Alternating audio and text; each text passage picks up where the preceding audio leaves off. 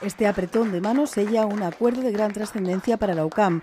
Sus protagonistas, el presidente del Comité Olímpico Español Alejandro Blanco, el máximo responsable del Fútbol Club Barcelona, José María Bartomeu, y el presidente de la UCAM, José Luis Mendoza. Era un convenio muy importante de formación, de investigación, eh, de ayuda a todos los deportistas, a todos los miembros del club con becas de ayuda y luego el desarrollo de proyectos de investigación muy importantes en el ámbito del rendimiento deportivo, con los servicios médicos del Barcelona, con los que ya estamos trabajando y con un gran éxito, ¿no? O sea que va a ser un momento histórico para nuestra institución y yo creo que también con el COE y con el Barça, ¿no? El Barça es un equipo de referencia mundial y bueno, pues trabajar con ello va a ser impresionante.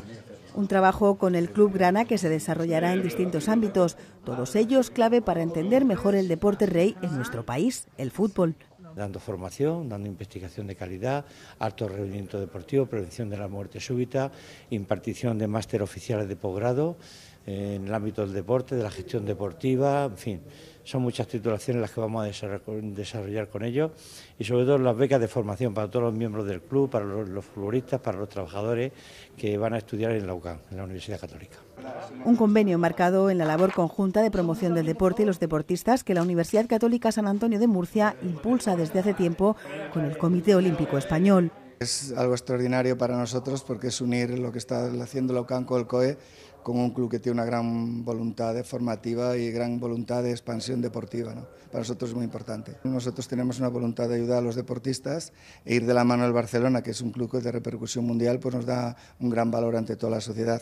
Lo importante son las personas que están debajo de los deportistas y ayudarles en su formación es un objetivo prioritario. Prioritario y de futuro. Al final el futuro y el alto rendimiento está en la investigación somos tres instituciones que nos preocupamos por la investigación, con gran repercusión ante la sociedad y ante el mundo del deporte, y creo que el dar este mensaje de innovar, de investigar y de formar es un mensaje muy positivo, no solo para deportistas, sino para toda la sociedad. Creo que es un momento histórico. Esto es la primera vez que se firma un convenio de estas características y con el presidente del Comité Olímpico Español, ¿no? la máxima autoridad en el deporte olímpico. ¿no? Eh, la actitud del presidente del Barcelona y del presidente del Comité Olímpico. Nosotros muy contentos de seguir prestando servicio a los deportistas, ayudando al Comité Olímpico, ayudando a los deportistas y haciendo esta labor que hacemos con el deporte y con la investigación. Este convenio se ha rubricado en la capital de España ante una delegación de responsables de la universidad que preside José Luis Mendoza. quiere ver a Messi antes de salir a ver qué tal está, que le gusta,